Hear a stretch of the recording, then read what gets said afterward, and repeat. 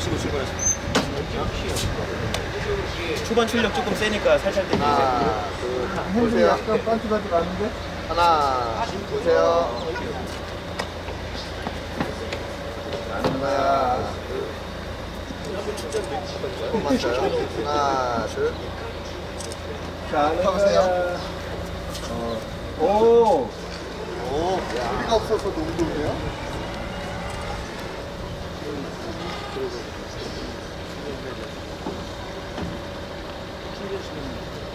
충전 시간은 완전히 방전시킬 수 있는 시간이니까요. 한번더 도세요. 한 바퀴 더 돌세요. 오, 속도 괜찮은데?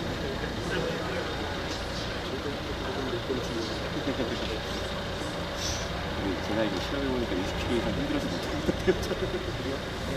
저희 할때 이거 키로수를 내려면은 좀 크, 크기를 키우면 되거든요, 배터리 크기를. 좋은데?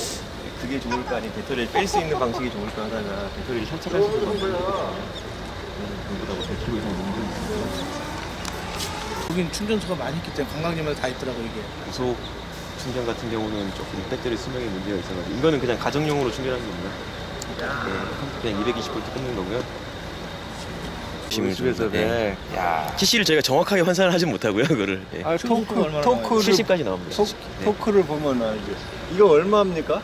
이거 아직 가격 책정이 정확히 안 됐습니다. 400에서 500선으로 저희가 예상하고 있습니다.